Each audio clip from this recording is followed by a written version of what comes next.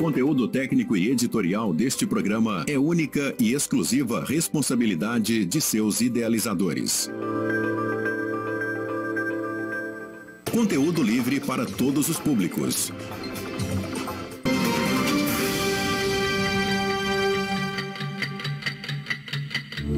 Lá vem o Marcos. Olá, já estamos chegando, 18 horas mais 30 minutos.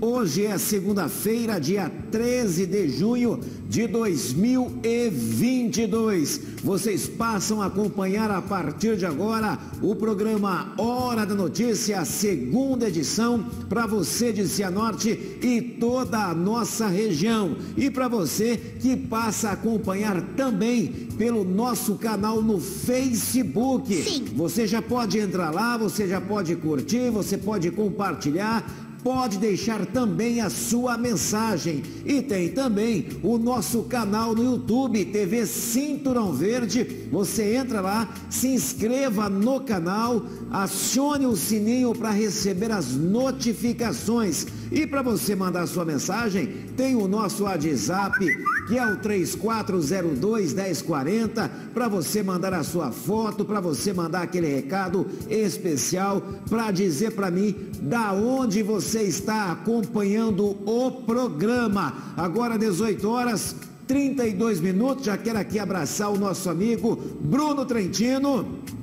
Ele que está lá, Ah, comandando a máquina pesada. Já quero abraçar você também de Cianorte. Abraço você da região. Abraço os nossos amigos que estão acompanhando em outras cidades, em outros estados e até fora do Brasil. É a TV Cinturão Verde abraçando você, esteja aonde você estiver. 18 e 32 vem comigo, porque a partir de agora nós vamos acompanhar juntos os principais destaques do programa de hoje. E vocês vão ver.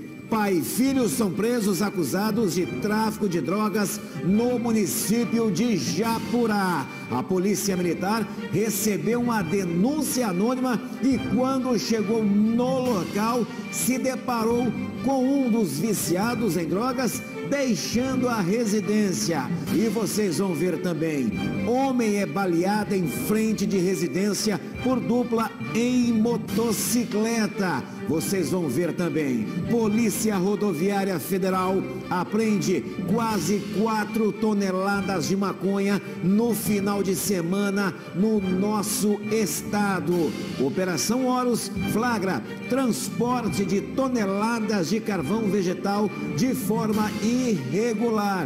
O trabalho foi feito pela Polícia Ambiental Força Verde. E vocês vão ver também. Secretaria Estadual de Saúde confirma mais de 1.700 casos e uma morte em decorrência da infecção pelo novo coronavírus. E acompanhe agora outros destaques do programa.